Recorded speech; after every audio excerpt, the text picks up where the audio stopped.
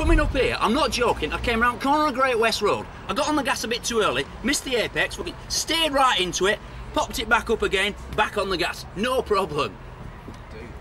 Well, sideways, like proper. Totally, mate. I, tell- you, I was just that bit too early. I still hadn't quite got up. I was over on the sidewalls, bang, out it stepped, but I just, you know, I stayed on the gas, corrected it, up, and I was off again.